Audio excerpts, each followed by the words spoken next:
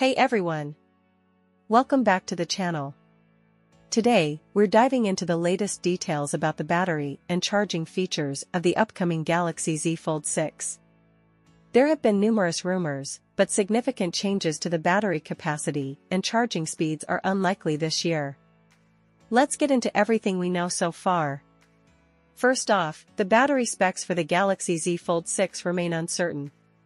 However, it's confirmed that the phone will have two batteries with model numbers EB-BF741ABE and EB-BF741ABY. While the exact capacities aren't known yet, a significant upgrade in battery size seems unlikely. Leak specs suggest a modest 200 mAh increase over the Z Fold 5, bringing the total capacity to around 4,600 mAh. Samsung is aiming to make the phone thinner and lighter, which limits the space available for a larger battery, especially with the integration of the S Pen. As for charging speeds, no leaks have indicated any changes. We expect the Galaxy Z Fold 6 to maintain the same charging capabilities as its predecessor. That means 25 watts for wired charging, 15 watts for wireless charging, and 4.5 watts for reverse wireless charging.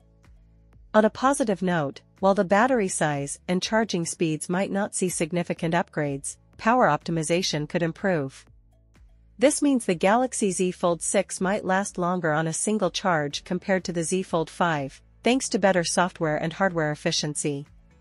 So, what are your thoughts on the battery and charging features of the Galaxy Z Fold 6?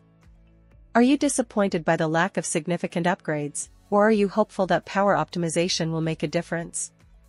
Let me know in the comments section below. Don't forget to like, subscribe, and hit that notification bell to stay updated on all the latest tech news.